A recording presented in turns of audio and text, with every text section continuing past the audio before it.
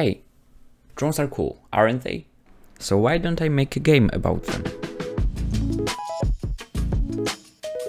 First things first, I set up a basic joystick controller. Yeah, the game will be available on mobile. But fear not, I'm also planning to release a browser version. The player will have control over a drone consisting of three main parts, the frame, body and four propellers. I decided to break down the drone into six separate objects for ultimate customization. Next up I added movement for the propellers. And you know what? It's actually looking pretty good. Now, let's talk gameplay. As you may have guessed, the game revolves around drone control. I've got three exciting modes in mind, and today I will split the beans on the first one, Quick Jobs. In this mode, players will tackle short missions assigned by different individuals. The Quick Job mode will offer an unlimited number of missions, randomly generated to keep things fresh. And here's the tricky part. Creating a mission generating system. My approach involves building a variety of maps. When a mission starts, the game randomly selects a map, an objective, like stealing a diamond, and one of several predefined locations for the item. This way I can easily expand the game with more maps in the future. To test the mechanics, I textured a wooden floor and set up a simple scene. But then it hit me. The camera needs to follow the drones, so players always have their eyes on it. The camera now smoothly tracks the player controlled drone. Oh, and here's an extra touch. The player can't simply fly through walls.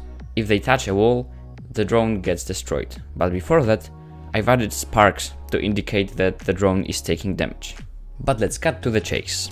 I created mission randomization script and an object that spawns at multiple instances throughout the level, randomly choosing one of them. This chosen object becomes the place where the mission's objective is connected. Now it's time to design some levels.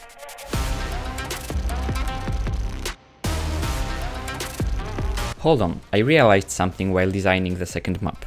The current art style isn't quite clicking with me. So I started exploring top-down games on the internet for inspiration. I'm aiming for a simplistic yet attractive look. And I had this idea of making the game resemble a building plan, since players are remotely controlling the drone. I scored various plans to get my creative juices flowing.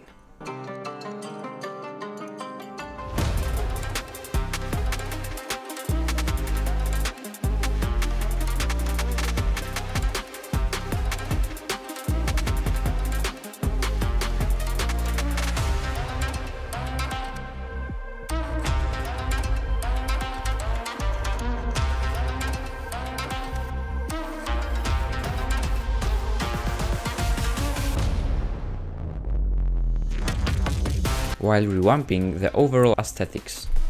I thought, hey, why not add some enemies for extra excitement and challenge? But that's not an easy task. I need to implement bullet firing, bullet scene interaction, bullet enemy interaction, a health system for both players and enemies, as well as make enemies shoot bullets towards the player. Now that the groundwork is laid, it's time to revisit level progression. I must keep track of the player's progression within each level. At the start of the level, I spawn the relevant item for the player's objective. Then a player triggers a script that notifies them that the task is complete, allowing them to move on.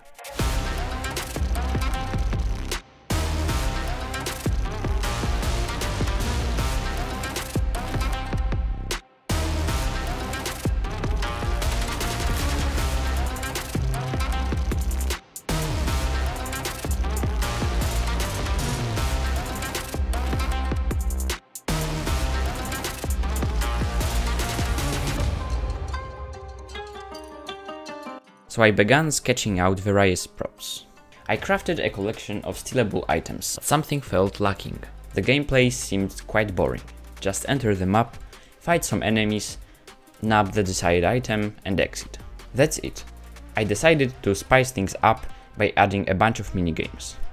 Picture this. A minigame for snatching a diamond, a minigame for sweeping a handbag, a minigame for data heist.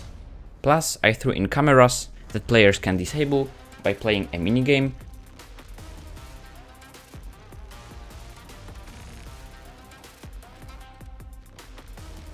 and the door that requires other minigame to open.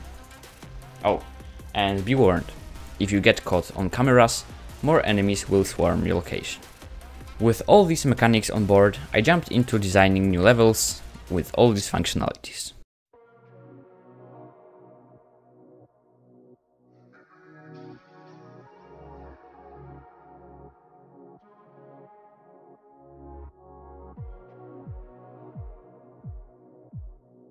The game is really starting to take shape now, but that's all for today's devlog.